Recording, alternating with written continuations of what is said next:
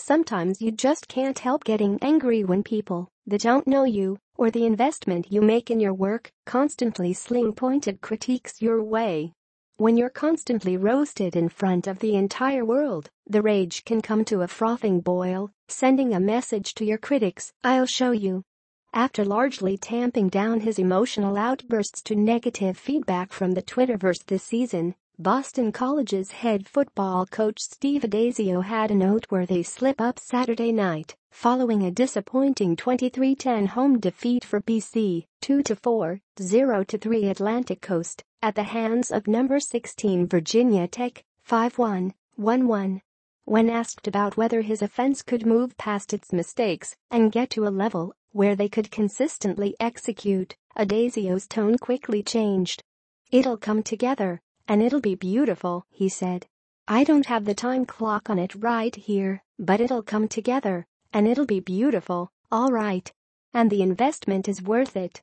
Whether it came from a place of immense frustration or as a message of belief directed to his players, Addazio's defiant assertion that the offense will soon be firing on all cylinders rang a bit hollow given the broad struggles of the unit. While Anthony Brown's confidence in the deep ball may be increasing, and while the play-action pass game nearly produced some chunk plays against the Hokies, on the whole, this is an offense that has gone from averaging 87 plays per game over the first three games to 69 plays per game over the last three games due to a deterioration in third down efficiency.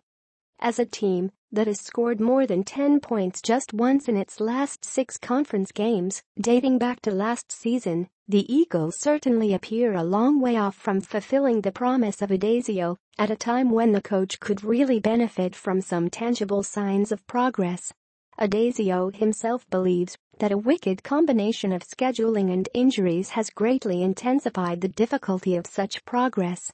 There are not a ton of teams in the country that are playing at that level week in and week out right now, Addazio noted, before elaborating on the team's injury woes.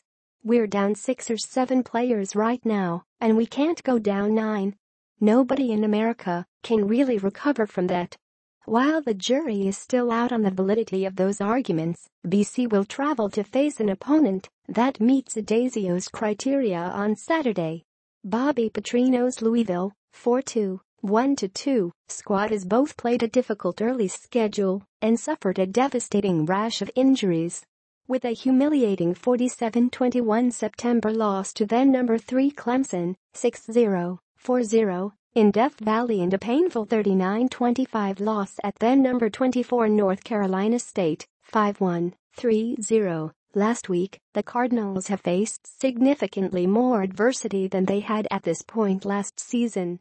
Fortunately for Petrino, he can count upon the reigning Heisman Trophy winner to carry the team through these rough waters. Lamar Jackson continues to build upon his monster 2016 campaign, where he threw for 3,543 yards, ran for 1,571 yards, and totaled a whopping 51 touchdowns.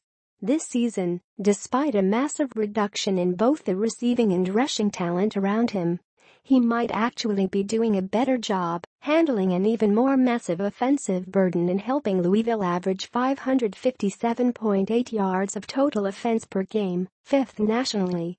Jackson has completed 62.2% of his passes, up from 56.2 in 2016, and generally looks much more comfortable making reads and moving around in the pocket, looking to throw the ball instead of tucking it down and running when his first read is covered. He's fourth in the nation with 1,990 passing yards, on pace to top his passing totals from last season by over 500 yards. On the ground, between red option plays, designed runs and scrambles, often precipitated by Louisville's weak offensive line, Jackson has totaled 91 rushing attempts, racking up 510 yards and 7 touchdowns. No other Cardinals player has run the ball more than 39 times.